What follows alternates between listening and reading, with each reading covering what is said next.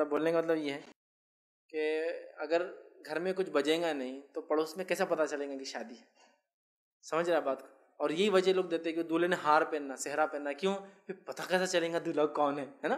किससे भी जाके गले मिल लेंगे इन्हें चूँकि ना इसको, बाप मालूम इसका ना, किसकी शादी रुखा पड़ के आया नहीं, इसको मालूम कैसा होंगे किसकी शादी है? तो इन्हें किसी के गले पड़ जाएगा तो ये बोलता कम से कम एक सेहरा तो होना, और एक सेहरा दो चार हज़ार का रहता हूँ। अगर खाली गोल वाला रहा तो वो एक अलग बात है, लेकिन अगर लंबा वाला रोबोटिक जो रहता है ना ऊपर से तक पहन के यूँ चलता हुआ बिल्कुल उसको दो लोग उठाते, बिठाते, लेके चलते। मतलब वो तो खुली हो जाती, उसकी बीवी बेचारी शादी के दिन पर्दा नहीं करती, इन्हें पूरा पर्दे में आ जाता। आँखें खुली रहती, देखता है रोबोटिक दूल्हा, उसको हटा के पूछते, कबूल है क्या? तो हटा के बोलना पड़ता है कबूल है। मतलब अजीब बात है। बहरहाल रोबोटिक चेहरे मान लेते हैं। तो पता चलता है ना बोले दूल्हा है, देखिए। नबी अकरम सल्लल्लाहु के निकाह हुए। और आप भी कई बार दूल्हे बने।